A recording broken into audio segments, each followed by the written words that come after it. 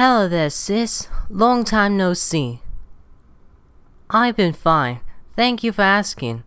So how's life been treating you? How did you end up on Sodor?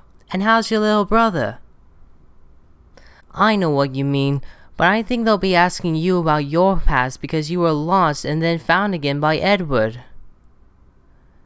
They got to see what it's like to be in an engine's cab, and they took pictures of us from all different corners.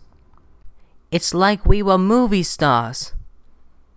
No, please, sir, let May and I take the rail tour to Barrow. It will take too long for another engine to arrive. There's nothing to worry about. I pull trains far heavier than this, and I did the same task the last time I was here.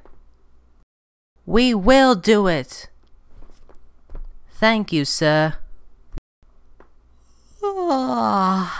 I'll sleep here for a few hours. I'm too sleepy to go back to the sheds. Ah. Well, time to get to work. Let me through, please. Let me through, please. My name's Stepney, the Bluebell Engine. Yep, that's me.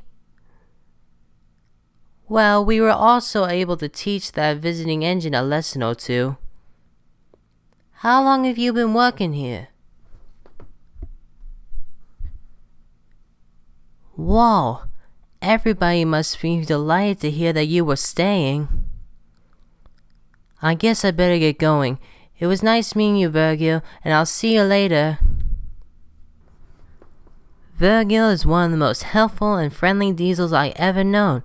He helps anyone in need, steam or diesel. He's no ordinary diesel. No, he's Virgil. Virgil the Rescue Diesel. What are you two arguing about?